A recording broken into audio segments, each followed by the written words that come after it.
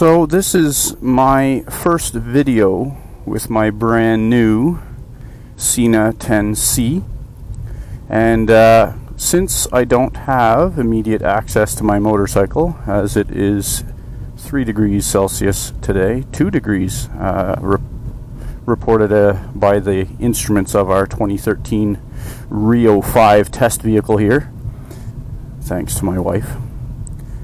Uh, so I wanted to check out the video function, see how the uh, the frame was as far as if it were level and if it needs adjustment. Check out the video and audio quality. The audio quality uh, of the boom mic I elected to install uh, as I have a modular helmet so uh, I kind of need the boom to stay in place as the uh, front opens.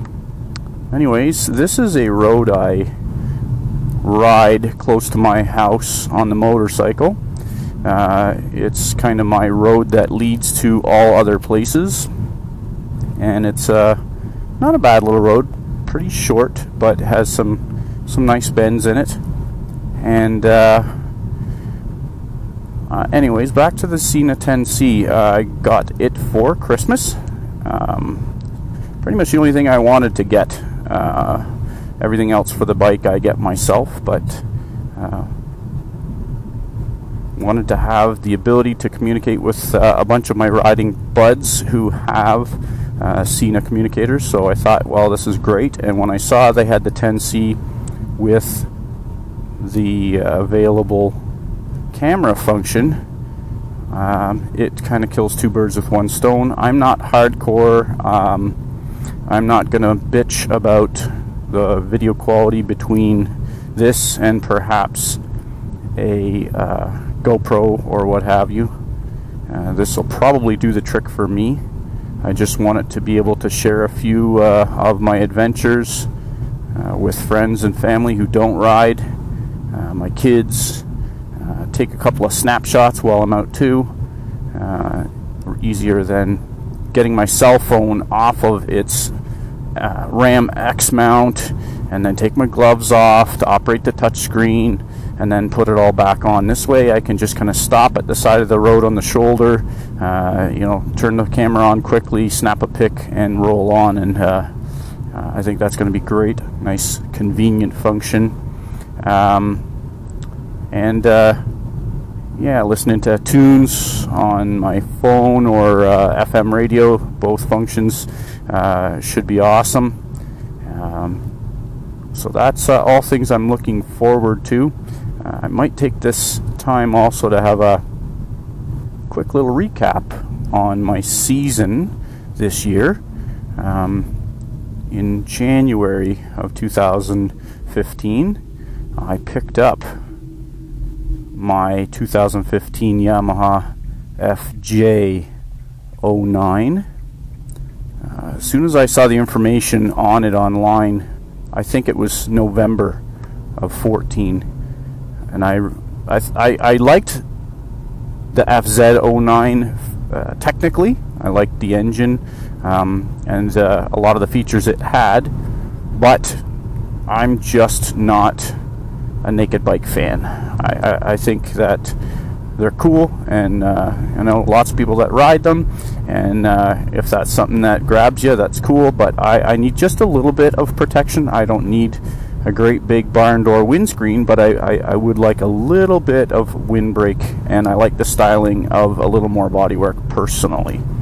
So when I saw that bike, I uh, I had to have it, and I thought going from my first bike which was a 2013 Honda CBR 500RA, which was an awesome bike for my first bike. Uh, I enjoyed it, and uh, it had great features. It had the anti-lock brakes, decent power, uh, awesome handling for an entry-level bike, and I got great trade-in value for it um, when I traded it in. Um, on my FJ.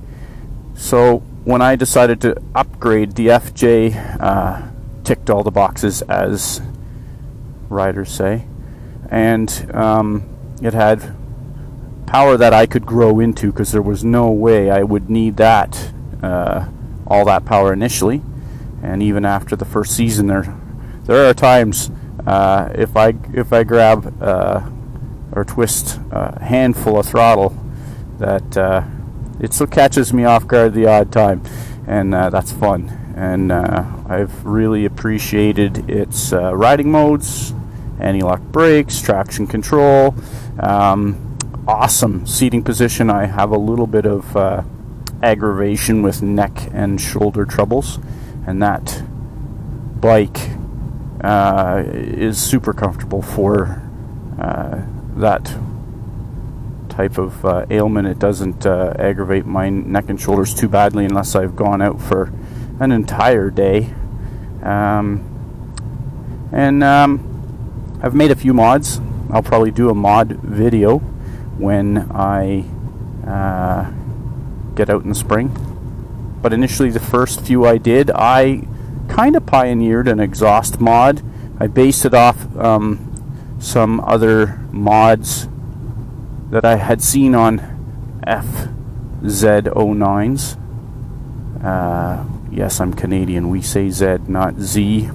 But I speak to enough Americans in my business that I catch myself saying FZ09 lots. Anyway, the uh, exhaust mod involves deleting a certain uh, bent S pipe inside uh, the chambered uh, silencer, and, and it stops the exhaust from making three passes through the can. Uh, so it, it goes through once. It, it retains the catalytic converter, um, and uh, you know, besides deleting that, we put an extra hole. We breached an extra hole uh, between the middle chamber, the catalytic converter uh, dump chamber, and the rear exit chamber to um, get rid of a little of the back pressure, and we changed the outlet from an inch and three eighths to about a two inch outlet. All of these things done, uh, you know, you need a little bit of an access panel that you have to cut in the top, and then I welded that back on. And since that's up on the top and it faces the engine, you don't see that walking past the bike. Uh, that being said, we put it on the dyno uh, before and after, and there was about a six horsepower gain, which most aftermarket systems, if you gain six horsepower, you're doing pretty good. So I was pleased with that. I love the sound. It was really what I was after to get just that increase in a bit of throaty exhaust sound um, without being obnoxious, and I think it's obtained, uh, it's achieved that. And um, I cut down my factory windscreen. The FJ09 is kind of notorious right off the gate for having noise buffeting problems with the factory screen, uh, windscreen. So I shortened mine in two stages. First, I cut an inch and a half off and ran it in its low position. Uh, it does have three adjustable positions for the windscreen, which is kind of cool, but to be honest, I don't move it around, I leave it on the bottom. Uh, then I cut another chunk out of the center, so the total distance um, is about four inches lower than factory, and I spray tinted it from the inside, so it kind of gives it a little bit of a mean look. And I've spaced up the bottom mount bracketry uh, in a couple of places so that uh, it angles it back. So it's it's shorter and it's tilted back a little bit, and uh, I'm I'm uh, pretty happy with the reduction in uh, noise around the helmet. Uh, I got decent coverage. The wind hits me about the top of my shoulders, uh, maybe maybe collarbone area, and I think it looks better for my personal tastes. Um, I reshaped my seat. I found there were sort of an angular line from the back of the seat to the front of the seat that had a bit of a sharp edge to it. And I found it bothered the inside of my thighs uh, when I was riding, so I stripped the original seat covering material off the vinyl. I shaved a little bit of that foam out of the way and uh, also put a small piece of memory foam under the original foam between the seat pan and the foam and I restretched the original cover back over it. It's not perfect, But when you pay a couple hundred bucks or more for an aftermarket seat, uh, it's going to do for now. Uh, who knows if I'll ever replace it, but it has made an improvement enough that uh, at least the, the length of rides I commonly do, it's uh, it's comfortable enough. Um, what else have I done? Uh, that's the majority of uh, the features. I put some LED signals on last, oh, it was Christmas Eve during the day. I put on LED signals, uh, which I ordered direct from China. We'll see what the uh, longevity of these signals are, uh, but I kind of like them. They have a running light feature and a turn signal feature, um, and I've wired up the rear running light setup to come on with my brakes for a little extra visibility. As I said, we'll see what longevity is like, but initially I like the look of them and we'll also show those I guess in a future mod video. Um, what else? Uh, that's that's the majority of stuff I've done to my bike. Uh, I'm up to time to change my rear tire so I'll be getting rid of the Dunlop that is on it in favor of most likely a Michelin Pilot Road 4 which gets pretty much unanimous rave reviews and I will run that uh, until I think the front tire will go another set yet. So that's going to be that. And we're going to turn around.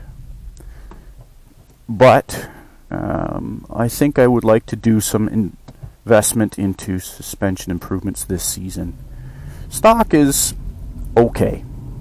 I'm 165 pounds or so with no gear on. Um, I found my adjustments required when I initially got the bike and played with it till the point I got it as dialed in as it was going to get for me.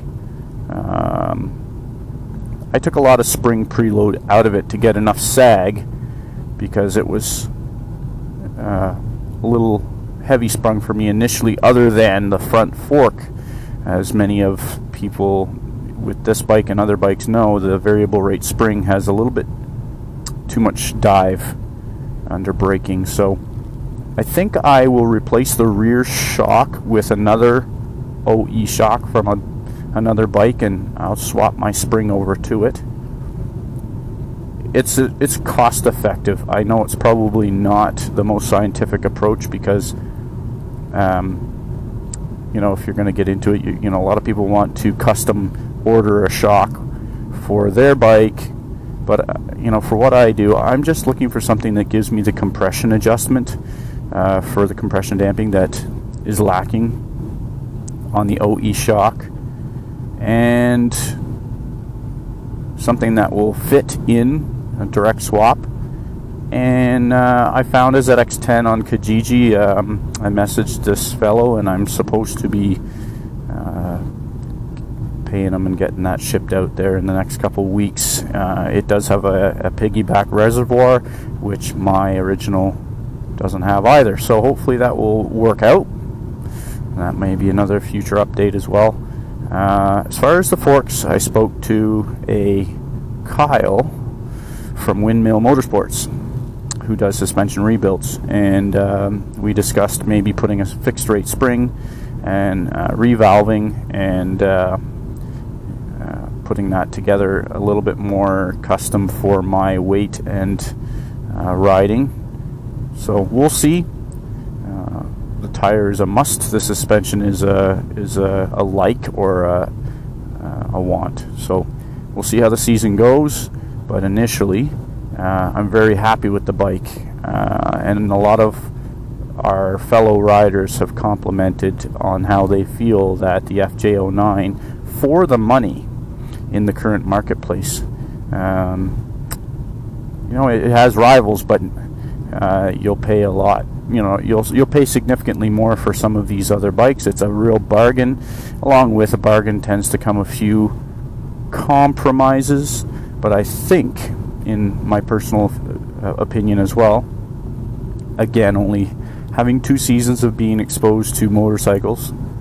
Uh, I think the compromises are in areas that are common upgrades uh, anyway. So suspension is commonly upgraded. Um, seats commonly upgraded. You look at you know windscreens commonly upgraded. These are areas that people have uh, complained about the FJ being less than perfect. Uh, I think there's no such thing as a perfect motorcycle uh, in any way, but uh, you know these are the areas that people have uh, griped about the FJ09 or MT09 Tracer for the European crowd and Australian uh, marketplaces.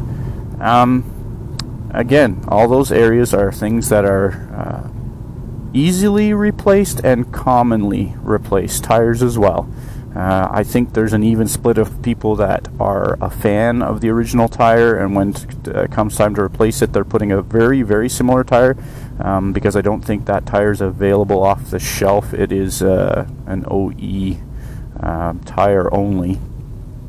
And there are just as many people that say get those tires off there as soon as you get the bike. I've I've read plenty of folks take delivery of the bike with those tires removed right away. I rode the first season with that tire. I have only limited amount of experience to compare, uh, but some of the complaints about that tire I can um, attest to. Uh, they they they're a little bit vague in certain corners, and uh, you know when you're pushing to the limit.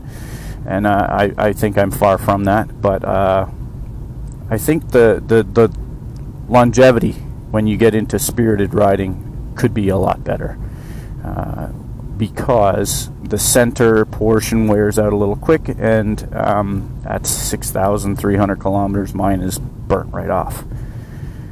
Uh, I don't think that's really a great lifespan for a tire, uh, but uh, hopefully a dual compound tire like the Michelin will uh, give us the lifespan that we're after, and I think given a lot of the reviews that that's what we're expecting. So um, this guy is driving me mad.